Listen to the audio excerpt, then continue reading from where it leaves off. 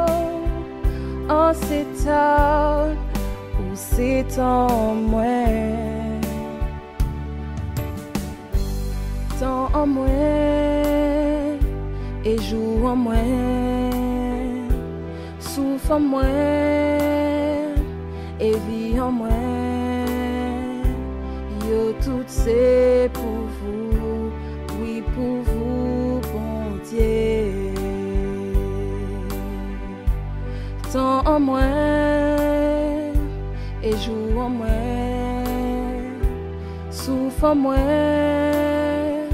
et vie en moi. Yo, tout c'est pour vous, oui, pour vous, bon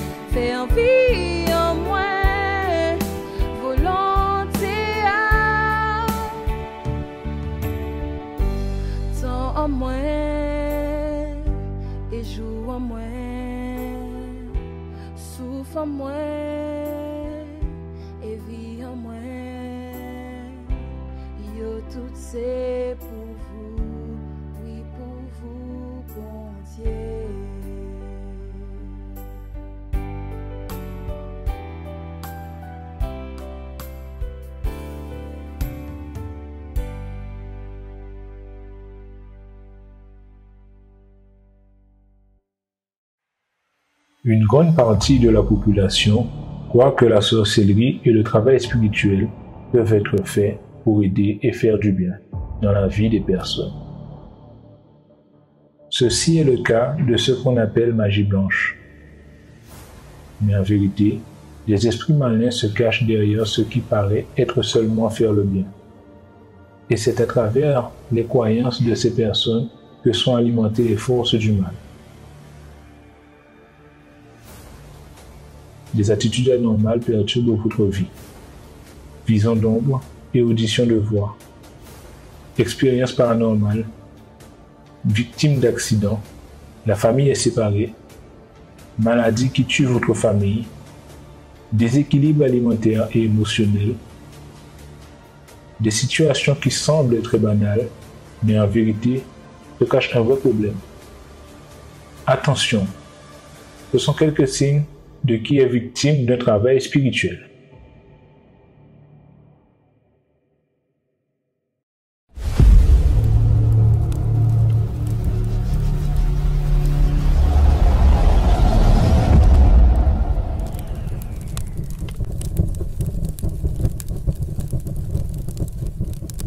Nous revoici encore de retour dans cette neuvième heure. Cette neuvième heure dans laquelle nous sommes en train de déterminer, nous sommes en train exactement de vous apporter à vous, madame, monsieur, jeune homme, jeune femme, cette parole et cette conviction que peu importe le problème que vous traversez, il y a une solution, il y a un remède.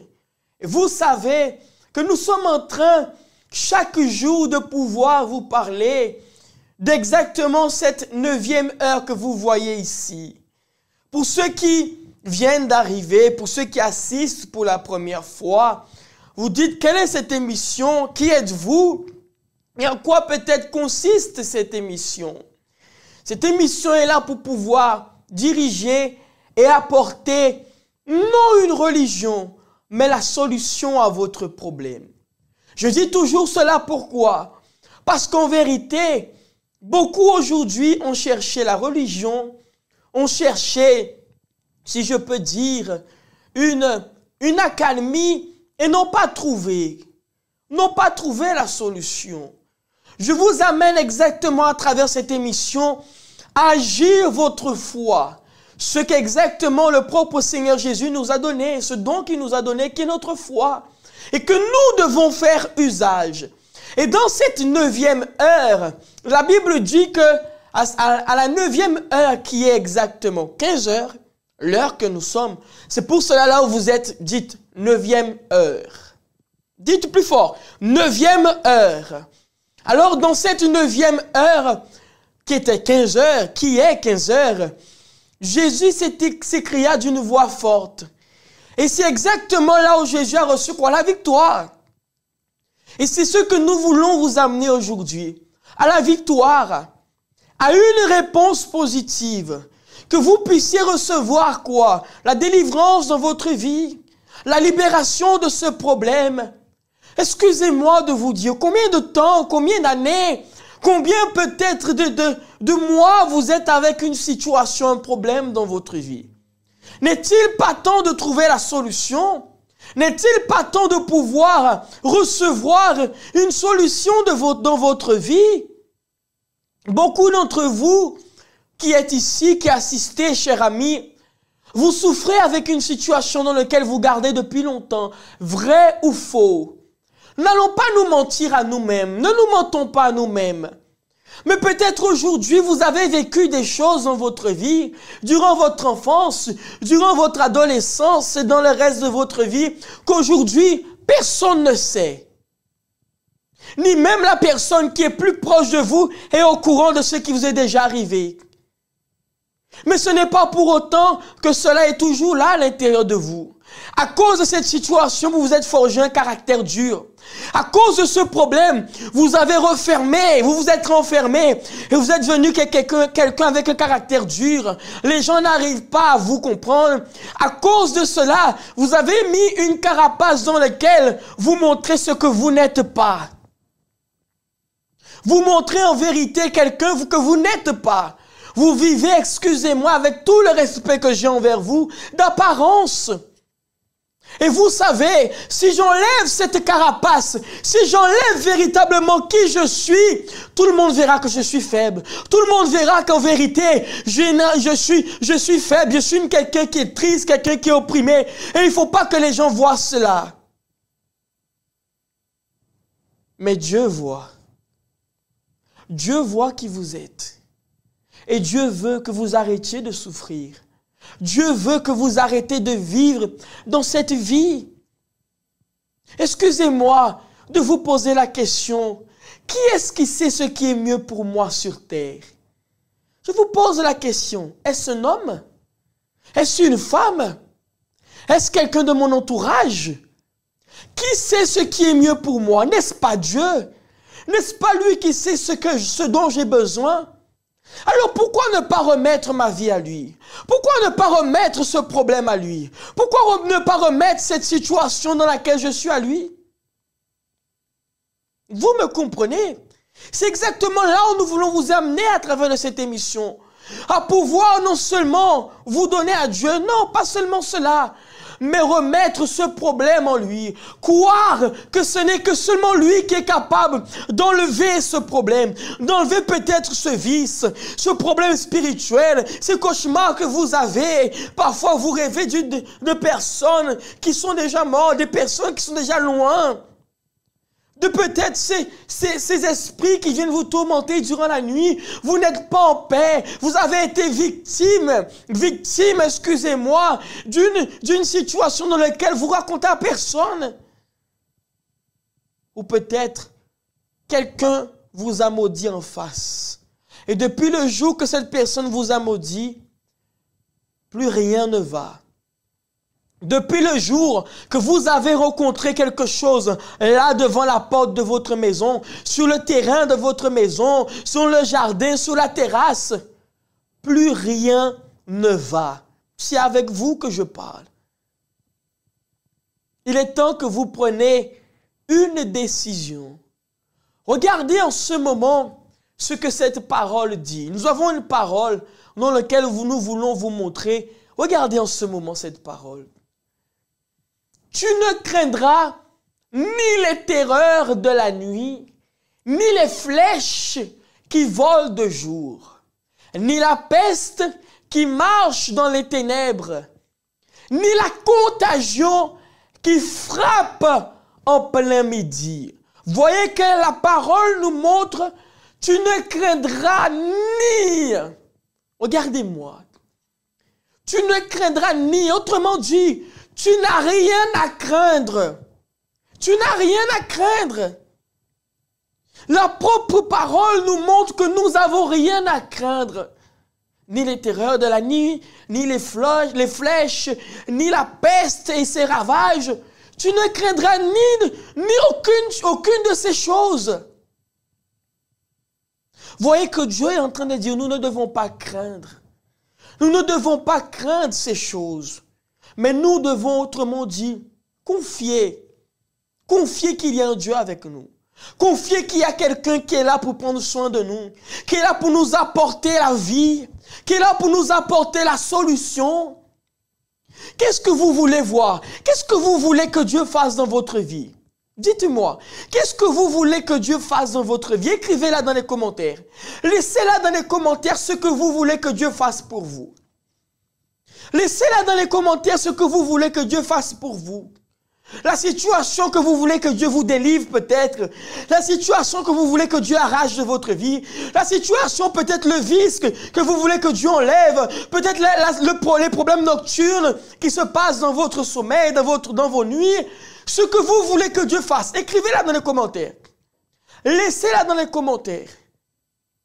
Parce que voyez une chose. Si Dieu dit que nous ne devons pas craindre, alors pourquoi nous devons craindre? Pourquoi nous devons douter? Pourquoi nous ne devons pas, nous, ne, nous, devons, excusez-moi de cela, nous méfier de ce que Dieu nous dit? Je répète, n'est-ce pas lui qui sait ce qui est mieux pour moi? N'est-ce pas lui qui sait ce dont j'ai besoin? C'est pour cela, j'aimerais que vous fassiez une chose.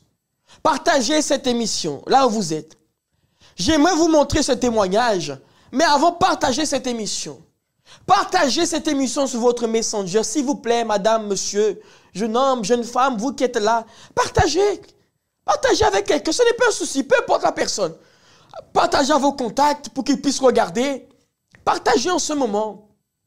Peut-être vous êtes un jeune homme, une jeune femme dans laquelle vous souffrez.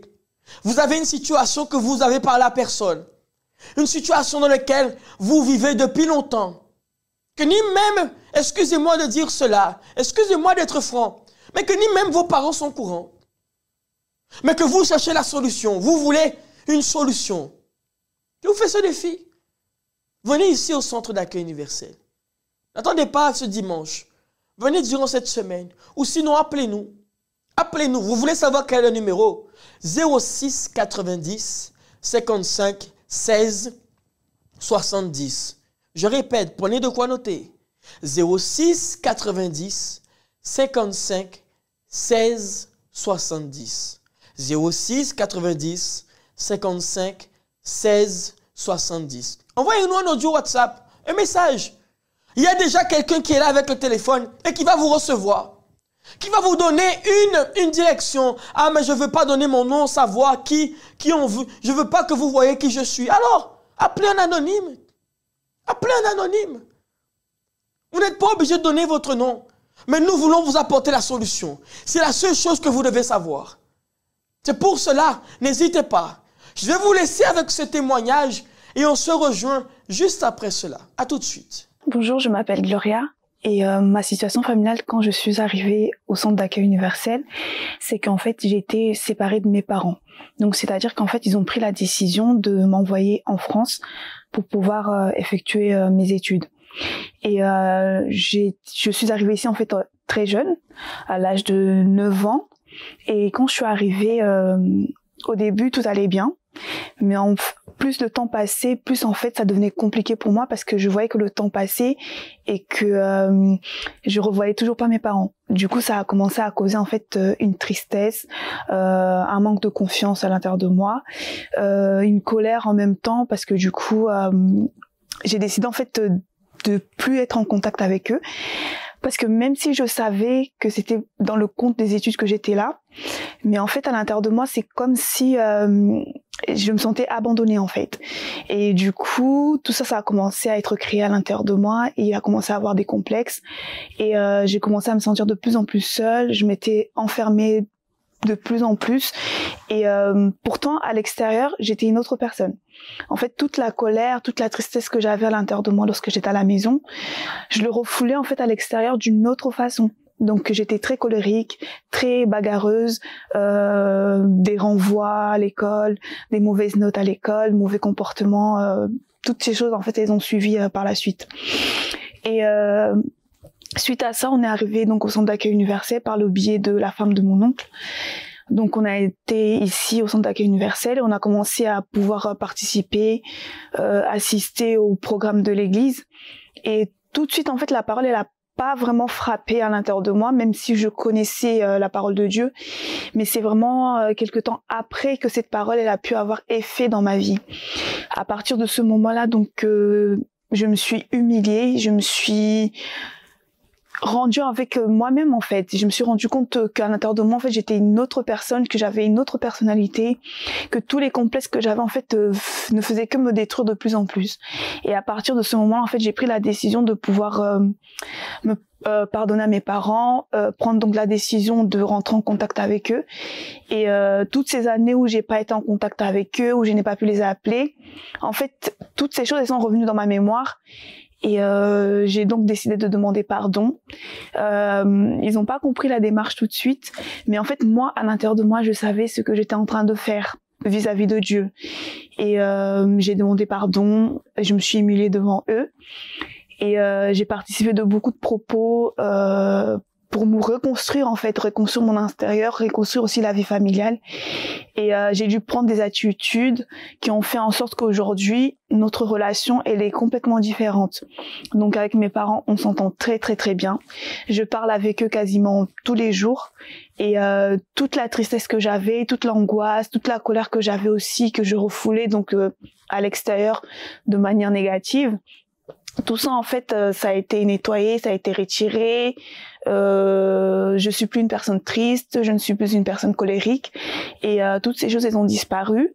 Et même les mots les plus simples que je n'arrivais pas en fait à dire à mes parents comme par exemple qui me manquaient que j'avais envie de les voir que je les aimais tout simplement toutes ces choses que je n'arrivais pas à dire aujourd'hui en fait euh, je peux le dire sans avoir peur sans sans honte ou quoi que ce soit. Donc euh, c'est ça en ce qui concerne ma vie familiale et la transformation que Dieu a fait dans, dans ma famille.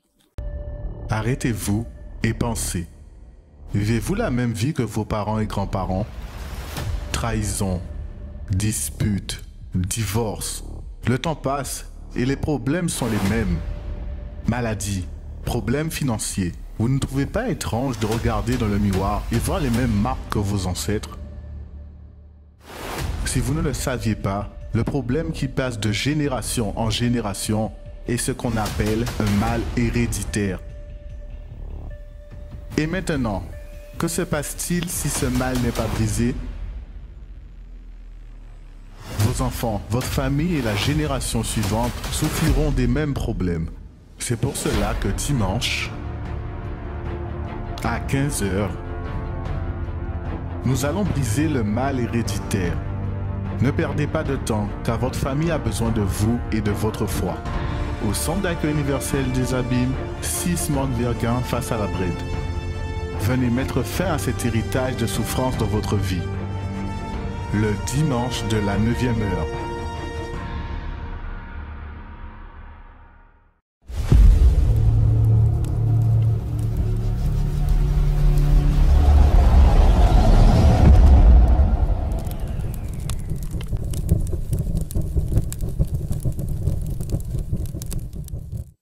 Le dimanche de la neuvième heure, nous allons briser tout mal héréditaire. Tout mal héréditaire, c'est pour cela, ne manquez pas, soyez là.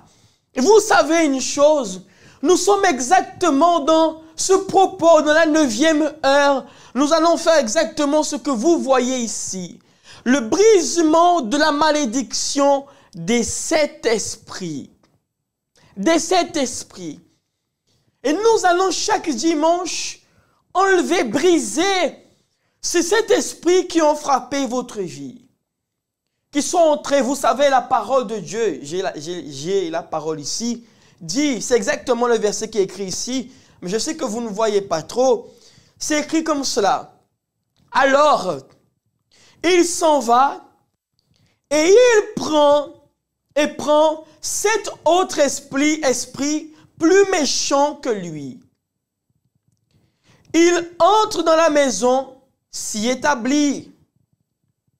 Et la, dernière, et la dernière condition de cet homme ou cette femme est pire que la première.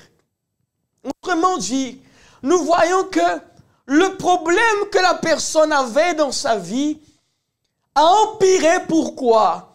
Parce que l'esprit qui était déjà là est venu avec quoi? D'autres esprits qui font que la vie de la personne est détruite et chaotique. Votre vie est chaotique. Ce n'est pas pour rien. Ce qui se passe est parfois spirituel. Et parfois qu'il y a un, excusez-moi de dire, c'est un mal qui est entré pour bloquer votre vie. Et cela fait qu'aujourd'hui, cet esprit a amené d'autres esprits qui fait que vous voyez, il y a un domaine qui est bloqué, il y a un autre qui est bloqué. Vous voyez que c'est la destruction par là. C'est comme si que tout allait bien, mais du jour au lendemain, vous voyez qu'il y a problème par-ci, problème par-là, problème à gauche, à droite, devant. C'est comme si que, au lieu que les choses avancent, vous voyez que les choses viennent comme ça. C'est comme la parole de Dieu qui dit, un abîme appelle un autre abîme. Un problème appelle un autre problème, puis un autre problème, puis un autre problème, et puis un autre encore. Et vous voyez que vous êtes envahi qu'avec des problèmes, qu'avec des situations dans lesquelles vous dites, mais pourquoi cela m'arrive? Pourquoi cette situation m'arrive? D'où est sorti ce problème? D'où sont sorties toutes ces situations que je traverse? Un abîme qui appelle un autre abîme. Dimanche, à 15 heures, dans la neuvième heure, nous allons briser toute malédiction. Les sept esprits vont être brisés dans votre vie. Vont être brisés. C'est pour cela que quand vous allez revenir ce dimanche, vous allez recevoir cette carte dont vous allez écrire votre problème, dans lequel nous allons prier. Nous allons nous engager nous engager à arracher ce problème, à briser ce problème à travers de la foi et de l'autorité que Dieu nous a donnée. C'est pour cela, je vous lance l'invitation, peu importe qui vous êtes, peut-être que vous venez nous rejoindre et vous essayez de comprendre qu'est-ce qui se passe, quelle est cette émission. Nous sommes dans cette émission qui est la neuvième heure, dans laquelle nous sommes en train de vous apporter la solution. Pas une religion, non. La solution. Peut-être aujourd'hui, vous avez un problème dans lequel vous cherchez la solution. Je vous fais ce défi de là où vous êtes. Il y a beaucoup qui ne veulent pas relever ce défi. Il y a beaucoup qui sont en train d'assister en ce moment à cette émission et vous ne voulez pas relever ce défi de peur d'être déçus. Durant toute votre vie, vous avez été déçus.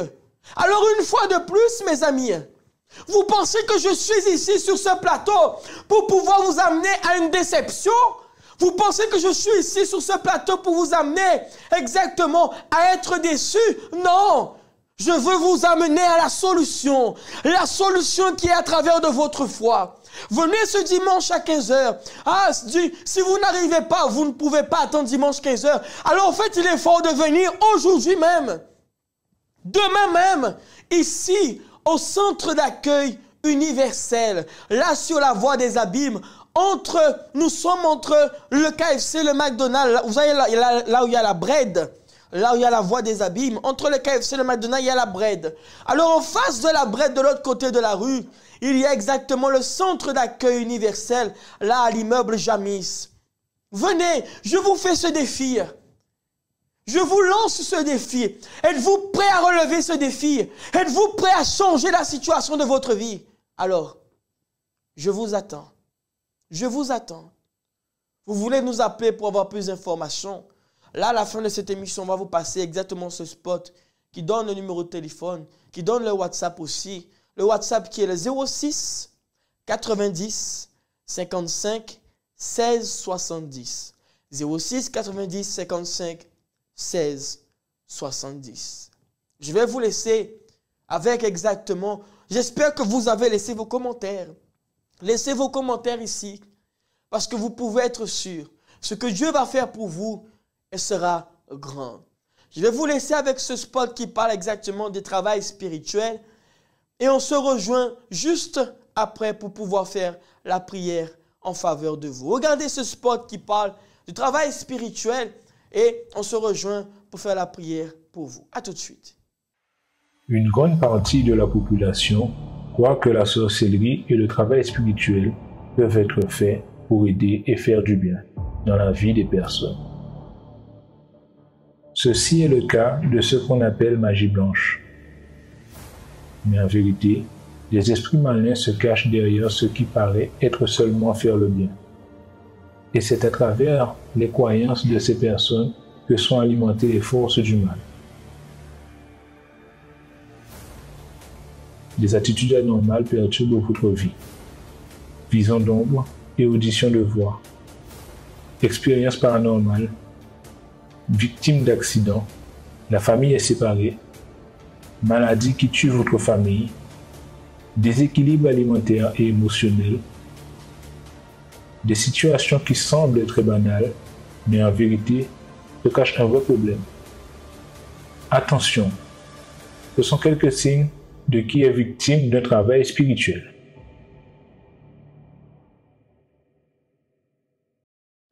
Un moment là ça participer à une prière spéciale. C'est bon moment pour parler avec bon Dieu, d'avoir. C'est lui tout seul, il peut aider. Nous caille semble fois en nous basote. Seigneur mon Dieu et mon Père, je prie en ce moment en faveur de chaque personne qui se trouve là. Des personnes qui aujourd'hui peut-être sont fatiguées, qui ont déjà assez, qui sont, mon Père, fatigués de souffrir, de vivre ainsi. Des personnes qui à l'intérieur disent c'est assez, c'est assez de cette vie, c'est assez de cette souffrance, c'est assez de cette situation que je traverse. Seigneur, apporte la solution. apporte la vie. Seigneur, le défi a été lancé.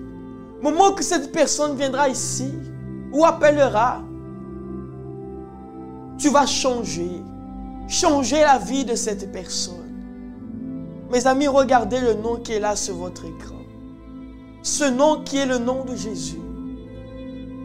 Parce qu'à partir de maintenant, ainsi comme vous voyez ce nom, il rentre dans votre vie.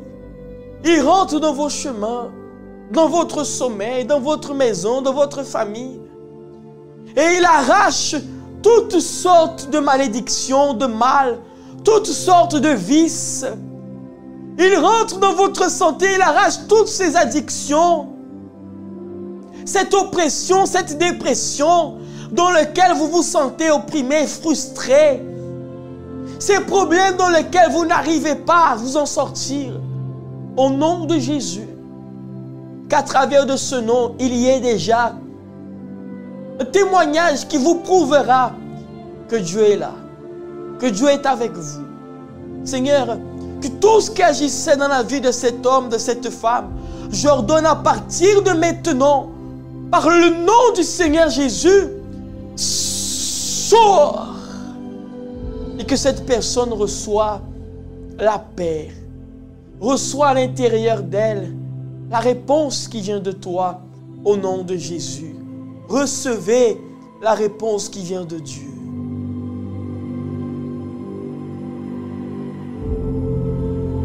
C'est cela, mon Dieu, que nous déterminons au nom du Père, du Fils et du Saint-Esprit. Amen et grâce à Dieu. Amen. Amen, mes amis. Voyez une chose. Écoutez bien. Soyez très attentifs à ce que je vais vous dire. Jésus a tendu la main à tous ceux qui étaient à terre, à tous ceux qui étaient affligés, tous ceux qui pensaient qu'il n'y avait pas de solution. Jésus a tendu la main. Et aujourd'hui, Jésus vous tend la main, monsieur, madame. Jésus vous tend la main, jeune homme, jeune femme. Jésus vous tend la main. Mais c'est à vous de lui tendre la main aussi. C'est pour cela je vous dis, que ce dimanche, ne manquez pas. Venez, venez ici au centre d'accueil universel. Je vais vous laisser avec ce spot qui parle de la semaine dans lequel vous allez recevoir toutes les informations. C'est pour cela que je vous dis que Dieu vous bénisse, que Dieu nous garde, que Dieu nous protège et que Dieu nous délivre. Connaissez-vous les réseaux sociaux universels d'hommes? Où vous pourrez rester informé de toutes nos actualités et recevoir des paroles de foi et de motivation Abonnez-vous à notre page YouTube et recevez les notifications de nos émissions en direct avec des paroles positives et des expériences de vie. Et pour ne manquer aucune de nos programmations, connectez-vous aussi sur notre page Facebook où nos émissions sont diffusées en simultané chaque jour. Suivez notre page Instagram avec des publications quotidiennes que vous pourrez aimer et partager avec vos amis. Rejoignez-nous aussi sur notre canal Telegram pour toujours plus d'actualités. Ordinateur, tablette ou téléphone, fortifiez votre foi à chaque instant à travers nos réseaux sociaux où que vous soyez. Elle reçoit la vie, elle reçoit la force, la vigueur qu'elle a besoin. Universel d'homme, toujours plus proche de vous pour vous mener plus près de Dieu. Vous êtes prêts? Vous êtes prêts pour une nouvelle semaine? Prêts à aller au travail? Pour vos projets et démarches en cours? Pour la course d'amener et récupérer vos enfants à l'école? Pour aller dans les magasins avant leur fermeture? Prêts à affronter les compromis que vous avez? Vous êtes prêts pour votre temps, son temps, leur temps. Vous êtes prêts pour les défis qui vont surgir. Préparez-vous, renouvelez votre esprit, renouvelez vos forces. Débutez votre semaine en ayant la bonne direction de Dieu dans votre vie. Pour que votre semaine commence bien, tous les dimanches, Participez à des réunions spéciales. À 7h ou 9h30, la concentration de foi et de miracles. À 15h, la prière de la délivrance. Et à 16h30, l'étude biblique. Pour plus d'informations, contactez-nous sur notre ligne amie 24 heures au 05 90 28 33 83 ou envoyez-nous un message par WhatsApp au 06 90 55 16 70.